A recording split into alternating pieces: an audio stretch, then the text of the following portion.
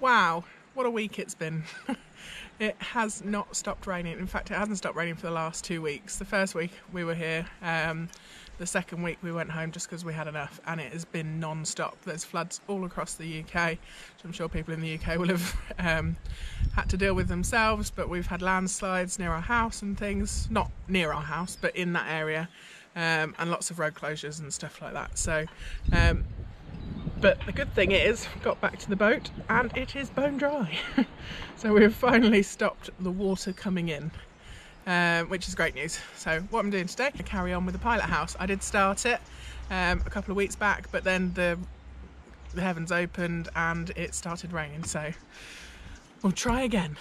I am gonna bash off the worst of the scale here, um, and then I'll go over it with the Tercoo. Ideally I'd use the needle gun but I need to order some new fittings for the compressor. The needle gun's great but nothing beats a bit of brute force either.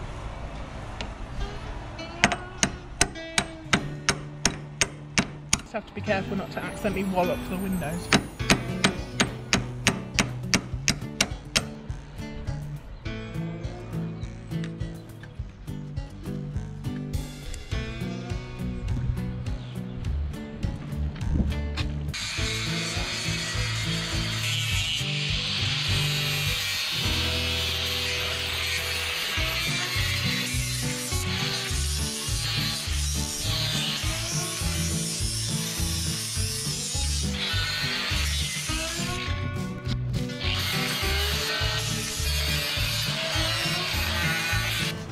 Right, so I'm just gonna go over um, the bare metal with this and then I will sand um, this to the right surface.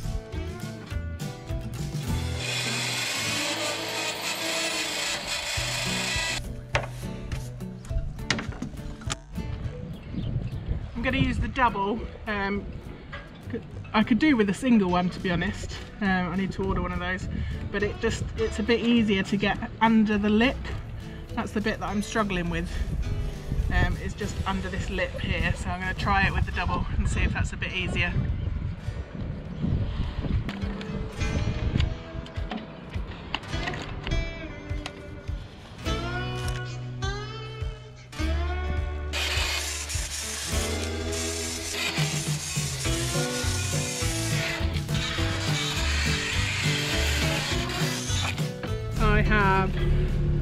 Ground back all the rust, um, terracoed it, sanded it with, um, well, sanded it with this, which is like 24 grit or something, um, and then terracoed it. Um, now I'm just going to sand the, the paintwork that's not coming off um, to get that back, keep that back to a nice surface to paint on.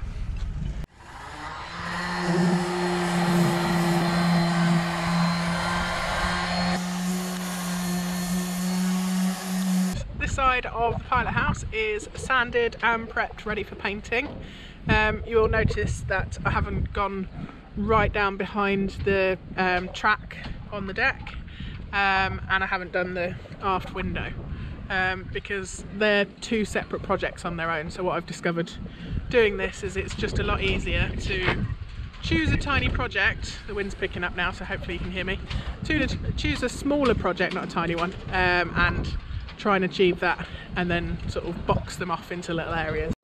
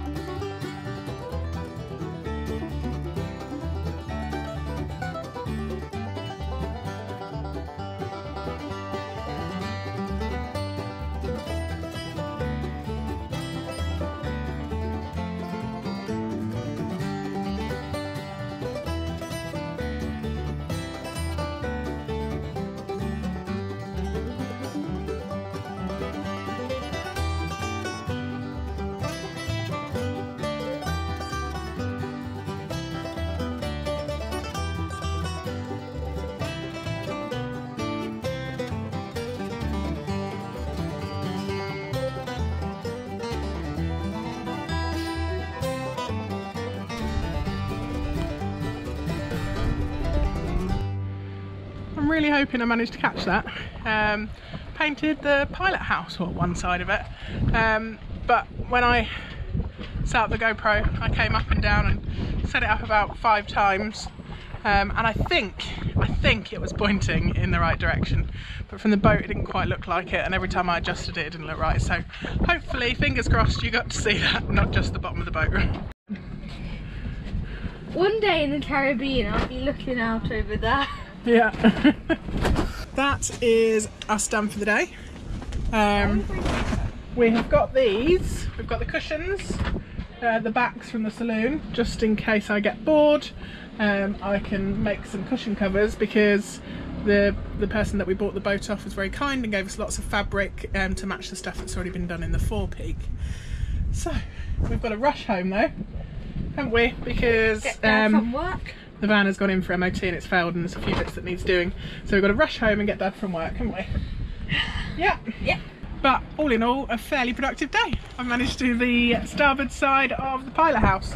Um, there was a bit, the, the lip that I was telling you about earlier. Um, I think I've got all the scale off um, and I've terracooed the life out of it.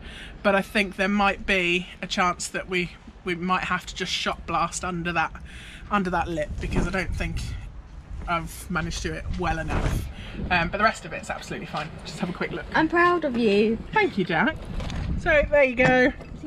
Um, that's one side of the pilot house painted. Right, let's go. Quick, quick, quick. Let's go and get Dad.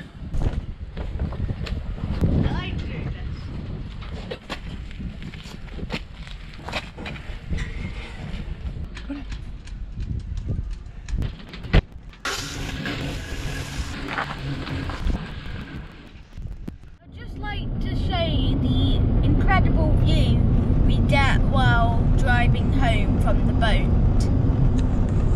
It's gone. Nah. It's gone. We've just gotten back from getting dad from work, and there's a parcel on the doorstep, and it's for me.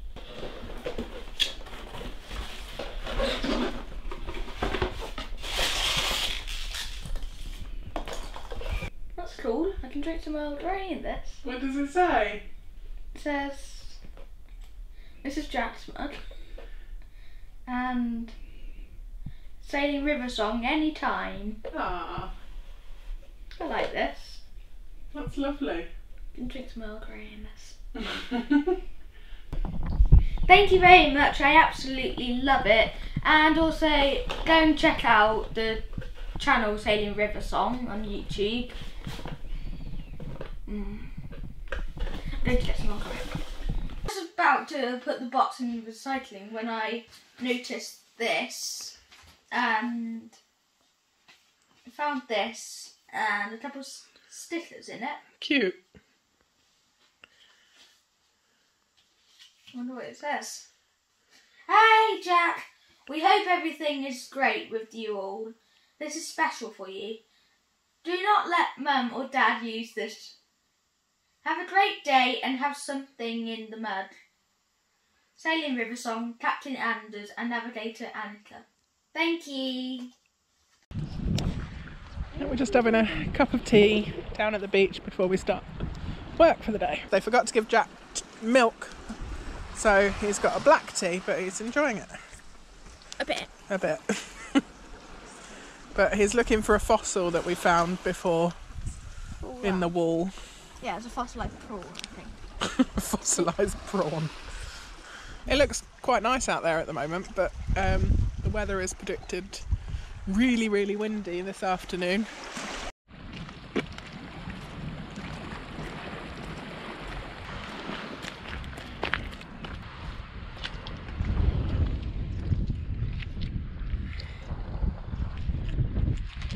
What is it? Does anyone know? The person might go into this one. That's what it looks like. Yeah. I'm It's big enough for a small not 100% sure what it is, but we will find out. But do you know anyone out there? please, comment. It's big boys. That was commissioned. Portside foul Marker buoy was donated by Stena Line in 1992. So, just arrived at the boatyard, um, ready to do some work, but unfortunately, the car seems to be juddering, it seems to be misfiring. Um, I think it's an electrical fault, a sensor or something, but my dear friend Google has told me to check the spark plugs because we've had lots of rain and lots of water. Um, so I'm going to have a quick look under the bonnet and have a look at that. Yeah, so what used to be under here was a key, but now you have to pull this out. Yay! These are the spark plug. Um, it's very important to put them back in the same order. So I'm only going to take one at a time. Oh, that looks wet. I think that might be the problem. There's lots of water in the reservoir where the spark plugs are, and there shouldn't be any water in there. So I'm going to clear all the leaves that have got caught around the bonnet. Um, there's lots of water sitting on the top of that thing, manifoldy thing. Not sure what it is. Um, but so I'm going to clear all that up, get something a rag in there to dry all the water up and dry the ends of the spark plugs. But it's just absolutely started pouring it down, so I'm to put that spark plug back in, shut the bonnet, and go in the boat, and come back to that when it stops. Ah! You need to turn it left once. now right, right, right. So what I'm to do, you're a bit low down there, is pop this, feed this into the thingy, the um, the spark plug hole, and just absorb the water. So that's soaking wet. And there shouldn't be any water in there. Get a Tesla. Can we get a Tesla? No. We've got the budget for a Tesla. Tesla, if you'd like to sponsor us until we go off sailing, give us a car. That would be amazing. Thank you. Yeah, not completely sure if they Jack wants a Tesla.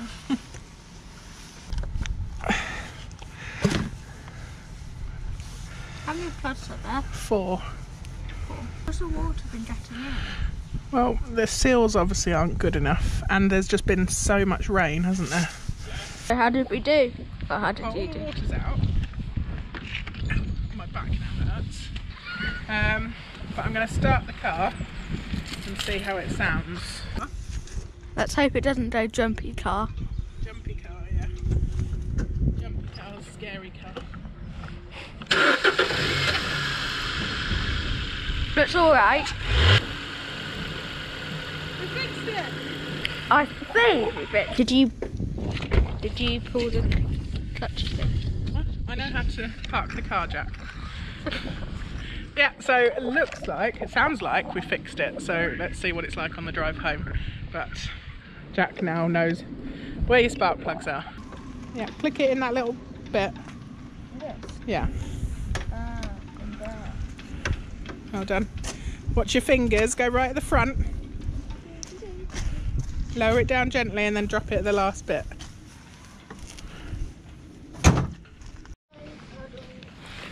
It's a little bit wet around the boat. Too bad.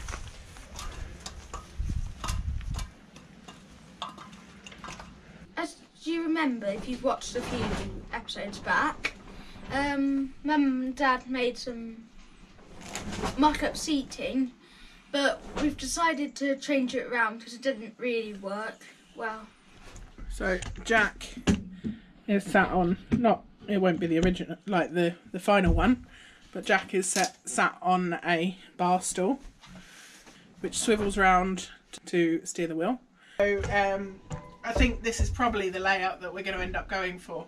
We've got L-shape seating. There'll be a raised floor.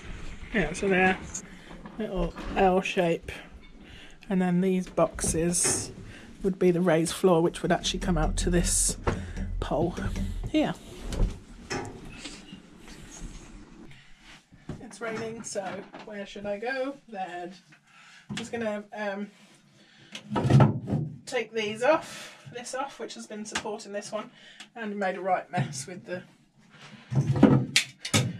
sticker sticks all Sikaflex type thing, but it, it doesn't matter. Ow! Got my finger. Oops, sorry. So I just want to say a massive thank you so much to one of our followers, you know who you are, um, that bought all the pink insulation. Um, it's a closed cell XPS board, um, and we've got enough to do the whole boat, or at least the stuff that we can get to and do. So that's that's amazing. Just we can't thank you enough for your generosity. Yeah, Thank you. really good. I will cut this outside. I'm not going to do it all in this tiny space.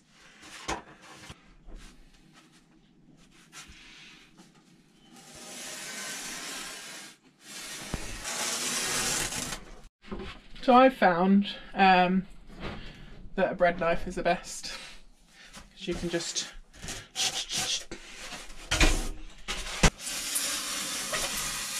Get out. My leg fixed it. So I retract that statement. The bread knife is absolutely useless. You can score whatever you can, um, a line through it, then you can snap it. You can snap a nice, clean, straight line. But if there's bits like this, I just actually use the jigsaw in there, but it just makes a bit of a mess. Hopefully, this just fits in. It probably won't. Shave a little bit off the edge here, and then cut the right angle for the top. That top one is in. This one here I'm going to have to do in two sections just because of the shape of the hole.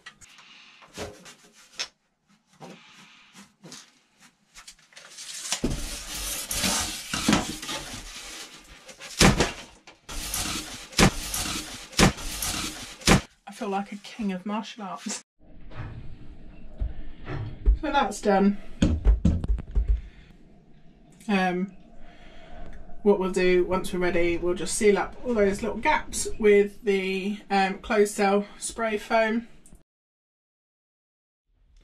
So just before we finish the episode, guys, we wanted to show you our new T-shirts uh, with the amazing artwork by Amanda Jackson. Amanda Jackson. So you can have a look in the description. We've got a link to her website so you can see more of her work. And if you click the other link in the description, it'll take you to our online shop where we've got T-shirts and mugs. Mugs. And what else are we going to have? We can have beanies, sweatshirts, all of the goody stuff. Yeah, and lots of other good stuff uh, coming up. And don't forget, you can also, uh, if you want to buy a copy of my album, just send us an email to turner.andy at hotmail.com. In the meantime, thanks very, very much for watching. I hope you have a great week now. Yeah, so click Bye. like and subscribe and leave us a comment and all that good stuff. Bye. Bye. See you next time.